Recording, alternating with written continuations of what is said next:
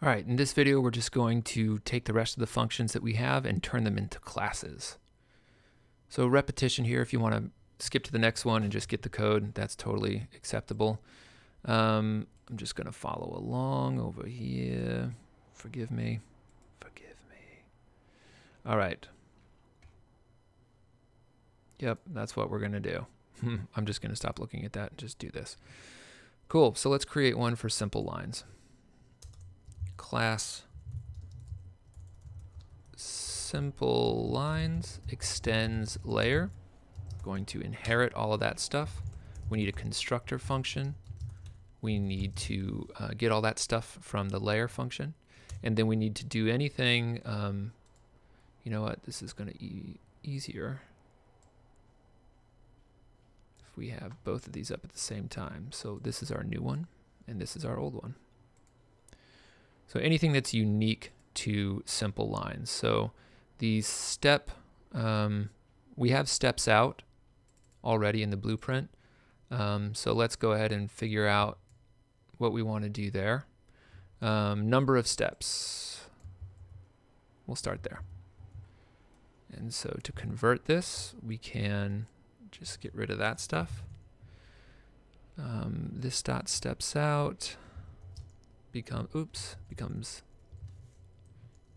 this dot steps out. Number of steps, same thing. And this dot start should do it.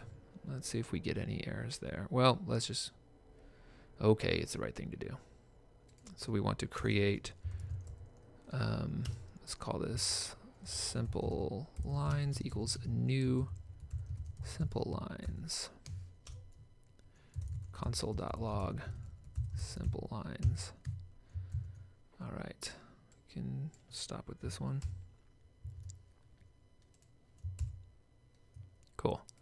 So we've created it. All of our stuff seems to be set correctly including all of our thin stroke and color and all that stuff. That all makes sense right so good, we've instantiated it, we've created one, and now we need to be able to draw one. So we'll call a render, we'll create a render method rather. Um, did we get angle? Yeah, we have angle and we have num shapes, we have stroke color and weight. Good. So let's just copy this in. Excellent. Um, and then we'll just start adding the this keyword wherever we need it.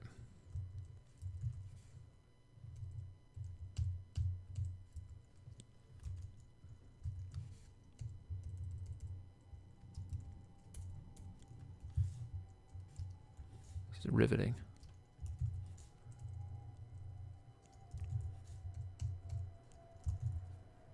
And lastly, this dot angle. Okay, cool. So if everything went as planned, we should be able to call simple lines dot render, and we should be able to see something. Ooh, what did we do wrong? Equals a new simple lines, simple lines dot render no fill, push, translate, line, and rotate. That all looks good. Let me check my thing here.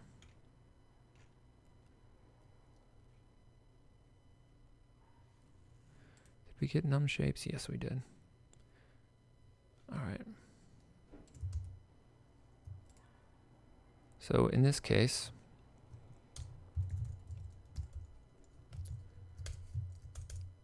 troubleshoot, I would console log out, maybe make sure that I have everything I need that is also in, in here.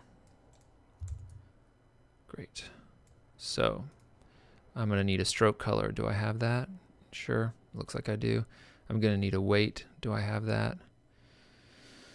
Um, no, it doesn't. Maybe that's part of our problem. So um, it looks like we are not setting a weight. That's something that we can do here. Uh, I'll just copy it from here.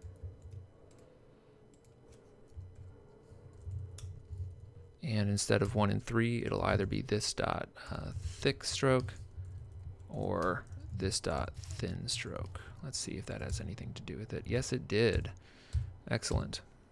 Okay, so let's make sure we get a 12. I don't seen a 12 yet. That's a lot of sixes. So number steps. Oh, we don't want number steps. We want num shapes, right? Num shapes. Oh no, we do want number steps. Sorry, we just don't have num shapes yet. So let's go over here. Let's get it.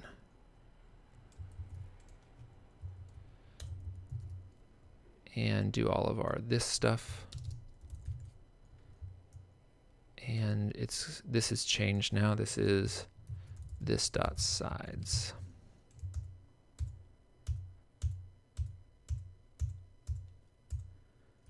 Num shapes, num shapes. Still not seeing any 12s there, are we? Um, oh, we need to redo angle because our num shapes may have changed. So this dot angle equals uh, 360 divided by num shapes. We needed this keyword. There we go. There's our 12. Let's turn on our test lines just for funsies. We'll turn that into a class as well but this will make sure that everything is still good, that we're not going too far, that they're on the lines that they should be. And I think we're doing pretty good there. Okay, let's continue with this exercise. So we just did simple lines. Get rid of that. Let's do outline shape. Class outline shape. Oops. Uh, definitely try to do this one yourself and then compare it to what we come up with. All right, so maybe you're back now. Maybe you never stopped the video. That's fine too. So we're gonna have a constructor and we're gonna have a render function. Those are the two things we always have. And in this constructor, we always need to um, get the stuff from the parent and then set all of our uh, unique stuff. So we want to, the weight is going to be unique every time we create a new one of these, right? Because every time we run the system, it should be different. Great. Um, and this is this dot thin stroke and this dot thick stroke. Great. And then it looks like the rest is just drawing stuff. That's nice and easy. add our this keywords. Let's see if I can do this the smart way.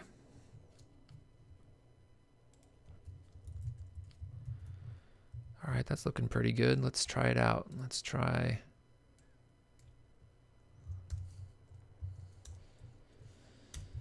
const outline shape equals new outline shape outline shape dot render.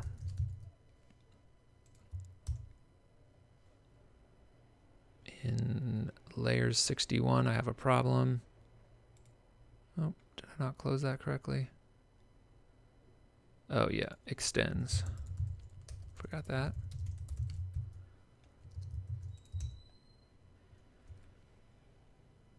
Cannot be invoked without new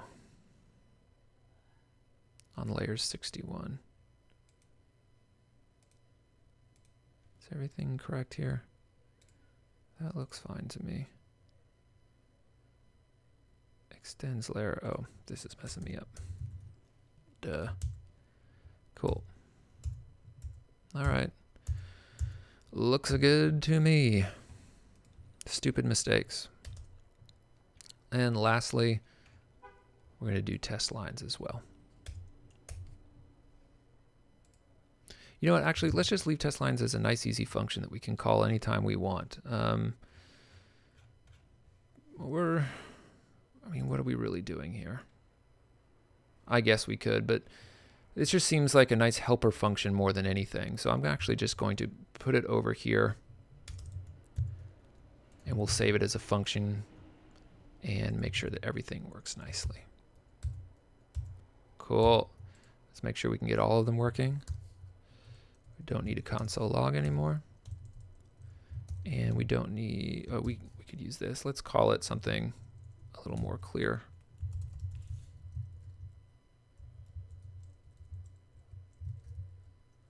All right. So now we've rendered circles, sample lines. We're going to see everything. Great. See some lines here, folks. There we go. Awesome. So then the other thing we might want to do, well, let's let's stop there. That's good enough for now, right?